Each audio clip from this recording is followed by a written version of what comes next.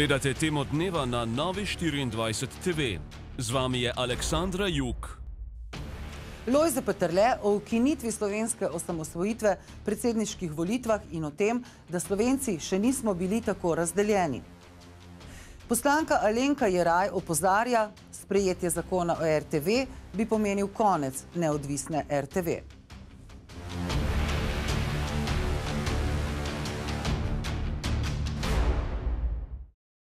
Lepo pozdravljeni. V Muzeju slovenske osamosvojitve je danes potekal posvet z naslovom Muzej slovenske osamosvojitve, kaj je stroka, kaj je kultura, kaj je politika in kaj ideologija. Tam smo ujeli gospoda Lojzeta Petrleta. Najprej poglejmo prispevek.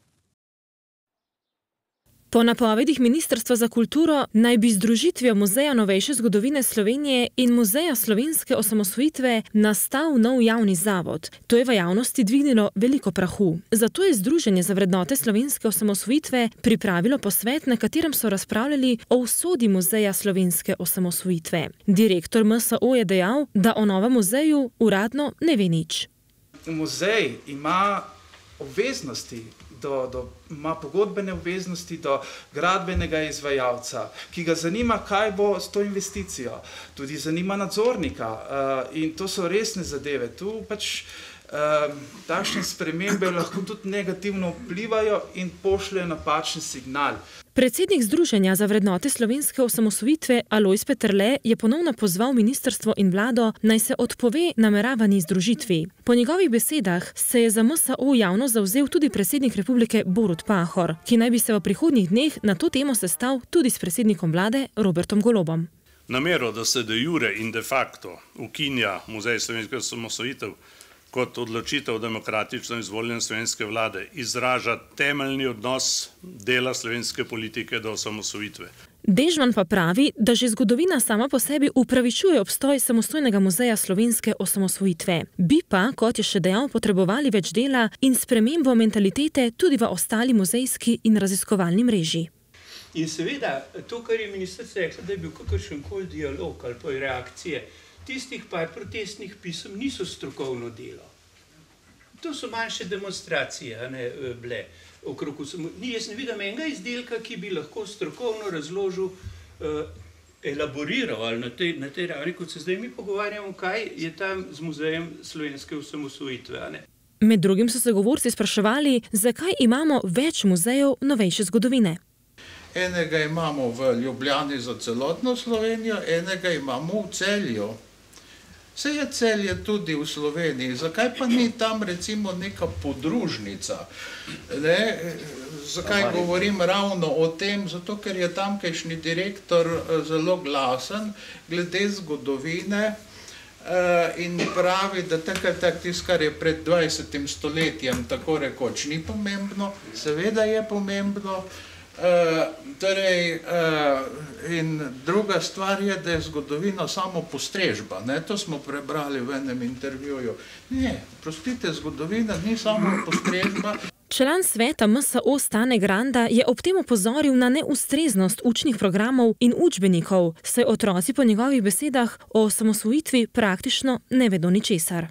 Hočemo vedeti, da je neka kontinuiteta, ki jo je ta vlada osam, eh, bi sem prevzela. Notar je, eh, notar je sve ta ministrica oziroma državna sekretarka, ki je bila bivša eh, predhodnica Dežmana, ne, ki je prav zadolžena za to miniranje teh zadev. Opozorili so še, da je ideologija vedno prisotna v kulturi. Sam kulturniški umetniški sistem pa ima v Sloveniji po oceni filozofa Lokarja izjemen pomen pri ustvarjanju javnega mnenja, česar pa se desna politična scena po njegovem mnenju še premalo zaveda.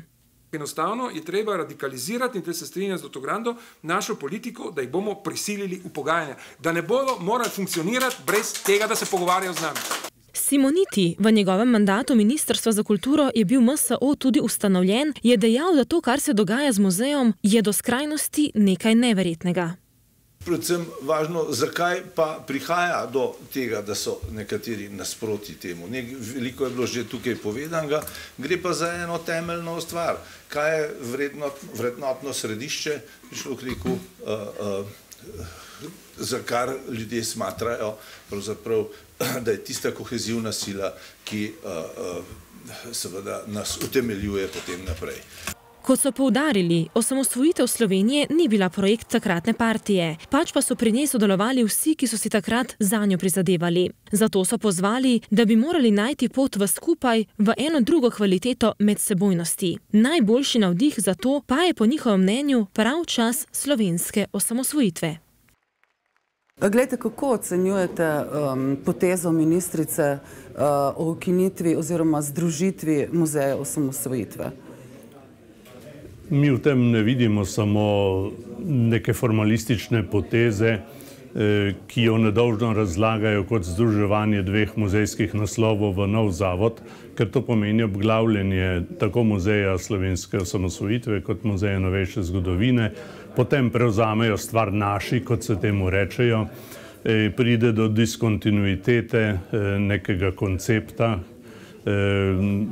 povedala je tudi ministrica, da prostori, ki so bili namenjeni oziroma se rekonstruirajo, pripravljajo za ta muzej, bodo šli za namembnost arhiva Slovenije. Skratka, tukaj gre za diskontinuiteto in tudi za udarc po osamosvojitvi. Ne moramo temu drugače reči, to je pač eh, ta oblast si te zadeve tako predstavlja. In mi ne želimo, da postane muzej, ki je nacionalni projekt, ne, da je to ideološki projekt, je izmislek eh, gospe ministrice, rekel, da to postane ena žogca v ping-pongu. Eh, ta muzej mora biti nad tem, je bil tako tudi postavljen in mislim, da osamosvojitev kot najbolj najmočnejše dejanje slovenskega naroda v svoji zgodovini potrebuje in zasluži poseben muzej. Uh, glejte, tudi sami ste rekli, da je potrebno razlikovati nekaj med, med kulturo, politiko in ideologijo. Ja, torej oni zdaj želijo diskvalificirati ta projekt kot ideološki projekt, ne, e, s tem, da si mislijo ob tem na prav ravno določene osebe. E, to, to ni ta projekt, to je nacionalni, to je kulturni projekt. Je pa res osamosvojitev e, bila namenjena tudi temu, da končamo s časom, ki je dopuščal samo eno stranko in eno ideologijo. V tem muzeju se dogaja tudi veliko aktivnosti, torej je to tudi prostor za združevanje, tudi to je pomembno. Torej, osamosvojitev je navdih za skupno delo, e, tako tudi naša organizacija želi, želi delati. Osamosvojitev smo izvedli za vse, od takrat naprej so vsi naši. Ne, ne želimo drugorazrednih, ne na to, ne na ono temo. In Eh, ta eh, namera ministrice oziroma vlade polarizira dodatno slovensko družbo, ki je že dovolj polarizirana. Mislite, da bo predsedniku Pahorju uspelo? Torej, jaz bi si želel, da bi njegova beseda vendar nekaj veljala. On je te čase doživel, bil je takrat poslanec, bil je pozneje tudi predsednik vlade. 16 dogodkov je po svetu poklonil osamosvojitve, in je s tem pokazal svojo širino in kulturo in tudi neideološki pristop. Ne. In jaz bi želel, da bi bila to linija, ki skupaj gradimo naprej. No, včeraj pri soočanju predsedniških kandidatov ste postavili tudi vi vprašanje in sicer, zakaj ni več domovinske šole, vzgoje v šolah? No, to je ravno dokaz, da nismo bili tako enotni, kot nekateri govorijo čeprav je tako mogočen procent ljudi podprl osamosvojitev, ampak očitno so tudi ljudje, ki so še danes proti in ne želijo, da se o tem sliši, da o tem mladina zve. Mladina ne zve niti, niti da smo imeli vojno za Slovenijo, kaj šele razloge za osamosvojitev. E, to, to pomeni, da nismo ponotranili osamosvojitve. Lete, osamosvojitev tudi ni bila še predmet maturitetne naloge, to je, to je ne, ne, neverjetno. Ne? Skratka, ta to dejstvo, ki štrli iz naše zgodovine kot nekaj največjega, kar smo dosegli, se ignorira, ne? se o tem ne govori ne? in to je, to je grdobija. Mhm. Menite, da je v vseh postsocialističnih državah tako? Ne. Lejte, recimo Hrvaška ima čez 60 filmov o osamosvojitvi.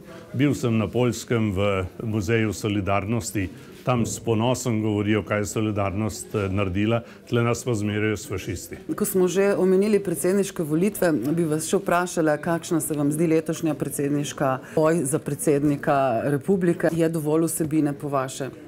Lejte, jaz sem včeraj gledal tole soočenje na nacionalki. Jaz bi rekel, da imamo dva močna kandidata, ki pa sta različna v nekaterih bistvenih, bistvenih zadevah in včeraj je to prišlo do izraza. Ne. Torej, meni se zdi brez potrebe, da se v predsedniški tekmi, rekel, da se bomo zdaj, eh, da debatiramo, kaj je bilo najbolj domoljubno. Ne. In gospa Musareva je seveda rekla eno bi. Ne. Ampak seveda ni omenila, no, je omenila tudi revolucijo, ne, da, ampak eh, vemo, da po, tej, po tem odporu okupatorju smo zamenjali totalitarizem ne, in smo živeli 45 let v partijskem enoumju. Ne, in, in ta slika ni primerljiva s svobodo, ki je prinesla osamosvojitev. Kaj pa recimo argumenti um, bolj levih kandidatov, da so bile um, zadnja leta Janševe vlade mračno obdobje, da bil, so bili ukrepi za COVID nekakšna uh, totalitaristična. Lejte, to, to niso argumenti, kar oni pravijo, to so etikete, to so, to so zmerljivke, to so, lejte, v čem sem poslušal Jankoviča, ne? ples na grobovih žrtev, predvoljivni ples in proglasitev Musarjeve za zlato, Logare pa za mračnjaka. Lejte, s kakšno pravico in kje, kakšna kultura, kakšna pieteta, takih stvari doslej nismo, nismo poznali pravzaprav. Ne? In to mene, to mene skrbi, ker to krepi polarizacijo in, in v polarizaciji je bila doslej sveda praviloma močnejša stara, stara politika, ki ima svoje subsisteme, strukture, medije, eh, denar in tako naprej. Ampak zdaj le imajo ljudje priliko, da, da se odločijo, ker razlika, bi rekel, je dost očitna, izražata te razlike oba, hvala Bogu, dost kulturno, ne? se ne zmerjata, čeprav imamo tudi kakšno rahlo pikanje, če tako rečem, ampak tisto, kar sem rekel včeraj po, v smislu kulture, se mi zdi eh,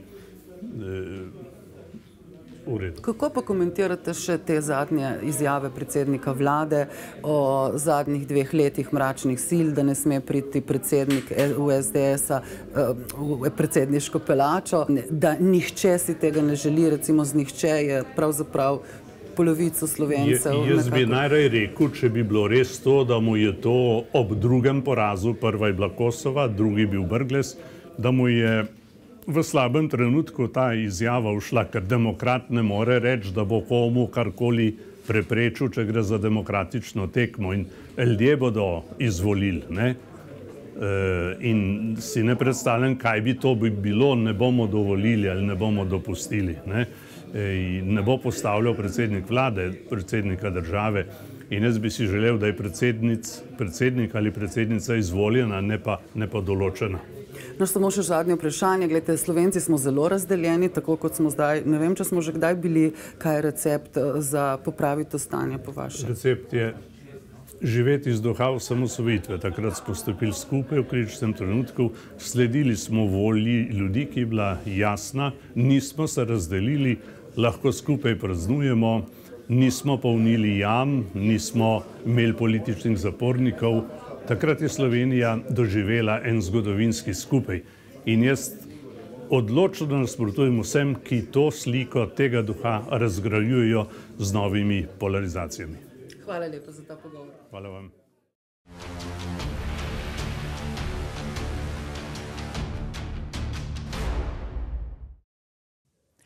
27. novembra bomo voljivci na referendumu odločali o zakonu o vladi, zakonu o radio-televiziji Slovenija in o zakonu o dolgotrajni oskrbi. Pobudniki referenduma o RTV ocenjujejo, da gre pri predlogu zakona o RTV-ju za zlorabo poslovnika in konec neodvisne RTV Slovenije. Vladni predlog zakona o RTV Slovenija predvideva, da bi čez noč prenehal mandat vsem 29 članom programskega in 11 članom nadzornega sveta sveta. Prav tako pa tudi mandat generalnega direktorja ter direktorjev radija in televizije. Prioriteta vlade dr. Roberta Goloba torej postaja prevzem RTV Slovenija. Po predlogu novele zakona o radioteleviziji Slovenija bodo zaposleni iz svojih vrst zbrali šest članov, preostalih enajst članov pa bodo na podlagi izvedenih javnih pozivov imenovali Italijanska in Mačarska narodna skupnost, predsednik države, Slovenska akademija znanosti in umetnosti, Nacionalni svet za kulturo, Olimpijski komitej Slovenije, informacijski pooblaščenec, Svet za razvoj, trajnostni razvoj in varstvo okolja, Varuh človekovih pravic in Nacionalni svet invalidskih organizacij. Javni zavod bi po predlogu vodila in upravljala uprava, ki bi jo sestavljali štirje člani, vodil pa bi jo predsednik uprave. Naša gostja je poslanka Alenka Jeraj. Lepo pozdravljeni, gospa Jeraj. Dobar večer. V vodu sem povedala, kako si predstavljajo v novem zakonu, kdo bo tisti, ki bo se določal, kdo sedi v programskem svetu. Zakaj se s tem ne strinjate, recimo, da, da določa program, da programski svet, varuh človekovih pravic, pa informacijski pooblaščenec in tako naprej? No, prvi problem tega novega zakona je to, da se gledalcem jemlje vso, bom rekla, torej gledalci plačujejo, ne bodo pa imeli nobene besede. Namreč doslej je bilo tako, ne, da so na predlog gledalcev in poslušalcev smo v državnem zboru izvolili mislim, da 16 članov. In poleg tega je bilo to narejeno tako, da smo vsake dve leti z zamikom, a ne se je zamenjalo pol programskega sveta. To pomeni, da so bili izbrani ljudje iz medijskega področja, iz kulture, filma, univerz, fakultet, kaj s vem, športnih, invalidskih, humanitarnih organizacij in podobno. Se pravi, da so ljudje, ki plačujejo prispevek, imeli tudi možnost predlagati svoje predstavnike. Sedaj pa po novem zakonu uh, se pa to gledalcem in poslušalcem jemlje in se ekskluzivno podeljuje samo določenim organizacijam. Kot ste omenila, Olimpijskemu komiteju, recimo, s katerim imamo eno slabo izkušnjo, kajti ko smo tako ureditev že imeli, so predlagali Uh, gospoda Kocijančiča, ki je bil predsednik Zveze komunistov in potem tudi stranke SDP, stranke demokratične prenove, danes SD-ja. Uh, in lahko rečemo, da naj bi bili neodvisni, ne politična organizacija, v resnici je bilo pa to zelo politično. Poleg tega se nam zdi, da ni nobene potrebe, da bi informacijski pooblaščenec predlagal. Zakaj? To je pač neka funkcija, ki jo eh, na predlog predsednika države oziroma imenujemo tudi v parlamentu, torej nek uradnik, ne, ki skrbi za informacije javnega značaja, ampak po kakšni logiki, zakaj bi on moral ja. nekoga predlagati. Potem recimo tudi uh, varuh uh, človekovih pravic, spet tukaj, ko, kako bo on izbral, bo dal razpis, pa se bodo tja prijavili ali kako. Ni, ni nobene logike v tem, glede na to, da na RTV že imamo varuha gledalčevih pravic, ki pa je zadolžen za to, da pač spremlja, kaj se dogaja, sprejema tudi kritike poslušalcev in gledalcev in podobno. Tako da, ko smo vprašali, zakaj ravno te organizacije, ki so bile izbrane, nismo dobili odgovora. No. Zanimivo pa je, da obe strani govorite o tem uh, primeru o depolitizaciji javnega medija.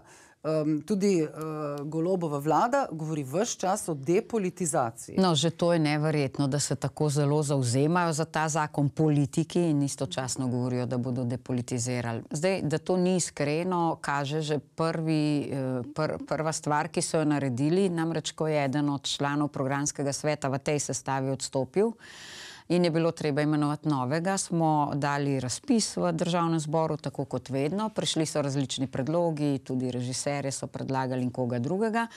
Ampak uh, Golobova koalicija oziroma večina je izbrala Alenko Iskra, ki se sicer spozna na medije, ker je pač delala v medijih, je pa bila kandidatka Gibanja Svoboda na zadnjih volitvah. Torej, če bi zares želeli depolitizira, torej da ni politike, bi izbrali nekoga izmed kulturnikov ali kogarkoli drugega, ki je bil predlagan. Tako so pa direktno spet svojo predstavnico predlagali v programski svet. Zato mi ne verjamemo, da so v teh eh, floskulah, da jim depolitizirati res iskreni. Uh -huh. uh, vidimo, da je glavna protagonistka vsega uh, gospa Mojca Šetinc Pašek. Vemo, kakšno vlogo je imel njen mož uh -huh. na RTV oziroma nasploh Šetinci. Uh, to je ja. povedala tudi Nataša Perc-Musar v eni od svojih izjav.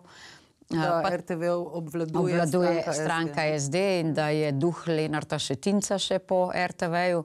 Tako da eh, vsa ta leta dejansko, kot sem prej omenila, tudi Janez Kocijančič je bil predstavnik SD-ja, vsa ta leta se vleče ta nekako leva eh, politika, leva vest z levo politiko na RTV-ju in mi si samo želimo, da se pač uh, imenujejo ljudje, ki so uh, ne, ne strankarski oziroma ki pač predstavljajo različna področja, ker v tej državi imamo leva prepričanja, desna, sredinska in javna RTV mora odražati vse to. Ne? ne more pa biti levo navijaška, tako kot je sedaj.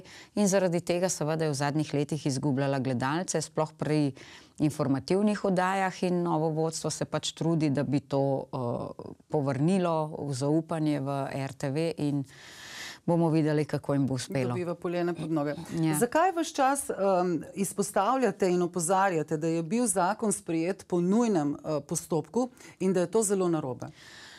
Glejte, mi smo imeli v tem mandatu, torej od uh, junija, ko je vlado, torej vlado in koalicijo prevzela, prevzelo Gibanje Svoboda in vsi ti novi njeni pri, priskledniki, koalicijski partnerji, smo imeli v državnem zboru 23 izrednih sej in dve redni seji.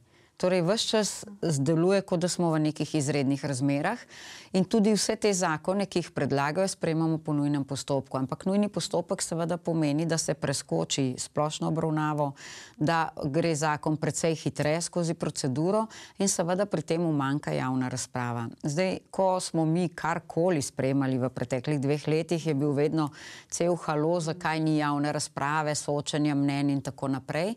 In tudi tukaj do tega ni prišlo. Zdaj, ko spremljamo oddaje na RTV-ju, ko se pogovarjajo o RTV Slovenija, uh, večina eh, sogovornikov ravno na to opozarja. Ne? Če ti spreminjaš en tako pomemben zakon, ki je zadeva praktično vse, poleg tega ljudje plačujejo prispevek, uh, ne moreš tega narediti brez vsake javne razprave. ne. Poleg tega niti ni jasno, kdo je zakon pisal. Enkrat govorijo, da Uh, pravna mreža. Prinesla ga je v parlament Mojca Šetinc Pašek, potem smo tistega zavrnili, pa je vlada popolnoma enakega vložila. Skratka, uh, vse skupaj je precej konfuzno in kot sem rekla, tudi ni jasno, kdo je to. In kdo ima pač tukaj nek interes, da je prišel s takim zakonom? Namreč mi smo tako ureditev že imeli pred zakonom iz leta 2005. Uh, in uh, po, podobno kot uh, želijo sedaj šest predstavnikov zaposlenih, torej kaj bomo spet imeli samo upravljanje, da bodo sami o sebi odločali. Zakaj Saj imajo veste, zaposleni, sami- kaj imajo samo zaposleni pri programu, ne razumem. No, pa, pa tudi tako, ja, ne, zaposleni si nikoli ne bodo izvolili izmed sebe ali pa tako uh, hudega šefa, ne, ki jih bo, bom rekla, uh, priganjal k delu in tako naprej. To poznamo v šolskem sistemu, pa še kje drugje. ne. Izvolijo tistega, ki jih bo čim bolj primer pustil, da bodo lahko delali po svoje in to zagotovo ni dobro. Uh, sedaj imajo v programskem svetu tri predstavnike od 28 in mislim, da je to čist eh, do, dovolj in normalno razmerje. V, po novem bi jih pa imeli šest v bistveno zmanjšanem uh, svetu RTV. Uh, jaz mislim, da morajo seveda tudi zaposleni imeti nekaj vpliva in nekaj besede, ne more pa biti to prevladujoči vpliv. Prevladujoči vpliv morajo imeti tisti, ki RTV plačujejo, to so pa gledalci in poslušalci. Kar najbolj skrbi pa je to, da bodo po zakonu, če bo ta sprejet, eh, pometli za celotnim vodstvom, s celotnim nadzornim svetom, tudi celoten eh, programski svet bo šel. Drži, Eh, mi vse čas opozarjamo, da je zakon ravno zato narejen, ker želijo pač obglaviti RTV. Torej, v, z enim zamahom, z enim zakonom želijo eh, zamenjati vse eh, funkcionarje, se pravi direktorja RTV, direktorja televizije, radija, nadzorni svet in programski svet. Mi seveda temu nasprotujemo, poleg tega ocenjujemo, da je to lahko celo protiustavno, namreč mandati so varovani, ne moreš ti kar se spomniti nekoga zamenjati, kadar se ti zljubi. Tako da bodo zagotovo ti uh, iskali pravico tudi na sodišču in jo verjetno tudi dobili. Na to je opozoril zadnjič gospod Cerar, pa mislim, da tudi nekateri drugi pravniki. Uh, in očitno je namen dejansko samo to, čim prej zamenjati vodstvo. ne. Uh, očita se nam, da smo jih mi nastavili, lejte, mi nismo nikogar nastavili, mi v parlamentu izvolimo programski svet, programski svet je pa na to na podlagi razpisa in vsega, vseh procedur, ki jih zakon uh, um, zahteva, uh, na koncu izvolil gospoda Graha za direktorja. Jaz mislim, da se trudi, da bi se povrnilo zaupanje v RTV, da bi se tudi povrnili gledalci, predvsem pri informativnih oddajah, a ne so v zadnjih desetih letih izgubili 200 tisoč gledalcev. To pomeni, da bi jih moralo skrbeti in da kaj naredijo. In mislim, da s temi novimi spremembami pač. Uh, to tudi počnejo. Seveda pa nekaterim spremembe niso všeč, ker pač kraljujejo že dolga leta na RTV-ju in mislijo, da pač morajo stvari ostati tako in da se nič ne sme spremeniti. Zato je ta zakon slab in je treba na referendumu glasovati proti. Uh, Vse pa lahko potem vzamemo čas in se pogovorimo o tem, kaj morda v prejšnjem zakonu ni dobro, oziroma kako bi lahko stvari izboljšali, ker RTV probleme ima, ampak verjetno ne samo zaradi zakona. Sploh zdaj, ko spremljamo tole in se malo več o tem pogovarjamo, se vidi, da je problemov cel kup in niso povezani z programskim svetom ali pa z. z Zakonom, ki velja, pač pa tudi z razmerami znotraj hiše, z uh, nekaterimi aktivisti in tako naprej. Sej, ravno to je bilo moje naslednje vprašanje. Vemo, kako se spravljajo zaposleni nad um, stavko kaze, jih verjetno imenujejo, Vida Petrovčič, uh, Možina in tako naprej, so v resnici v pravi nemilosti zdaj v tej hiši. No, pokazalo se je to, kar je takrat rekel gospod Štefančič, ne? Uh, jebeno malo vas je, ne? nas je pa toliko in toliko. Mislim, to je, to je ne, še tistih nekaj, ki je mogoče svetovno nazorsko malce drugačnih, uh, se praktično poskuša utišati. Ne? To ni demokracija. V demokraciji lahko vsak pove in tudi morajo biti oddaje različne. Utrip, ki je pač avtorska oddaja, je lahko enkrat, bom rekla, bolj levo usmerjen, sredinsko, liberalno. Pač tako kot sem povedala na začetku, da odseva vse segmente mm. družbe. Ne more biti vedno samo tuljenje v en rok. Zato tudi ljudje, se, ko jih vprašajo na ulici, ne gledajo poročil, ker je pač levo aktivistično, vse čas nekaj usiljevanje, usiljevanje neke nekega mnenja ja. in ljudje pač tega ne želijo gledati. Ne?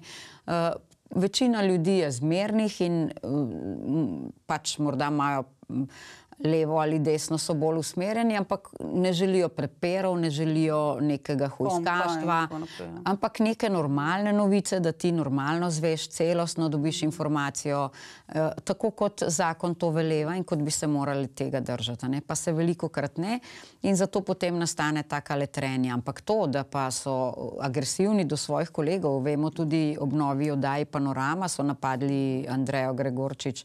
Mislim, to, to ni noben način, ne? Eh, ampak to je spet to, tukaj smo mi, glavni in tako bo, nihče nov ne sme zraven, čeprav vemo, da te mlade novinarke niso spustili dlje kot do dobro jutro oddaje, ne, sploh pa ne informativne, to je bilo vedno zavarovano in zaščiteno samo za določene ljudi. Mislim, da to ni prav, če gledamo druge televizije, hrvaško, italijansko, tam se menjajo oddaje, menjajo se voditelji in to je pravilno, ne. nekaj, nekaj svežine ne škodi in vsak ima drugačen pristop in je to tudi čisto v redu, ne, da se stvari... slišati obe strani. Tako, ne? treba iti s časom naprej in treba je dati vsem možnosti in priložnosti, ker mislim, da je pa veliko sposobnih ljudi, eh, sposobnih novinarjev, da ne govorim tudi drugih, eh, drugega osebja, tehničnega in to sicer zadeve ne bi funkcionirale, pa funkcionirajo. Torej, treba dati eno pohvalo vsem. Nekaj pa tudi graje tistim, ki se pa res grejo aktivizem na mesto novinarstva. Gospa Jera, hvala za obisk v studiu in ta pogovor. Hvala tudi vam za povabilo.